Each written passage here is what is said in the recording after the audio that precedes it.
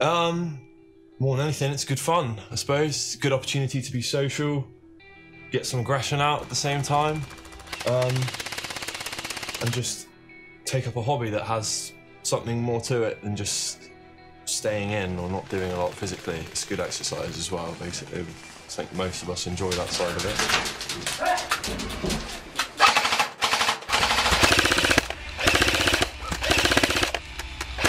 There's a lot of locals. Um, we we never come down and don't see someone that you know. If once you've been there a couple of times, you meet you meet people. Even if even if you've never came to a game with friends, you'll more than likely make friends playing airsoft, which is always another good thing.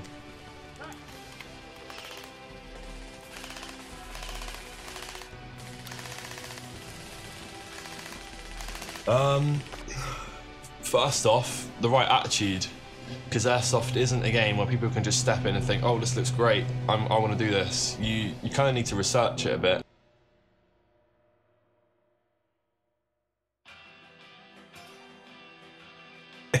I've had uh, I've had both, and I normally ended up nothing but problems with my uh, electric rifle. I had an M16. Um, for one thing, halfway through a game, suddenly your battery dies. You're sort of left stuck out in the field on your own with uh, just a spring. It's just constantly just pulling it back and forwards. Also, you can sit and push. You don't have to run around so much. There. Definitely depends where you get shot. If you get the ears or the lips, it does tend to sting a little bit.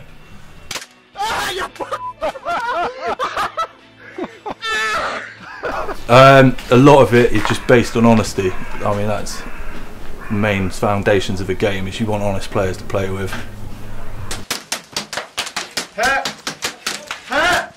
First thing you'll want to do is go, awesome, I want to join Airsoft.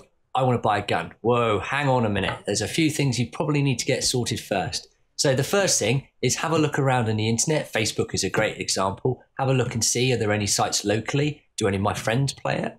Once you get that, you can then start maybe join a group on Facebook of you know a specific site. Maybe get chatting and say hi, I'm new. Um, if you want to get into airsoft, the best thing I can advise is a good pair of boots, military boots or walking boots, because that's the the biggest danger out here is hurting yourself, you know, on footing. Once you've got that, maybe a good pair of goggles, obviously to protect your eyes, or a mask if you want to protect your face. Once you've done that, maybe buy some camouflage clothes if you want to, or maybe hire it from a site. And then once you turn up, you can then get an idea of the different guns rather than saying, I know what I want. You can go and have a look and speak to people.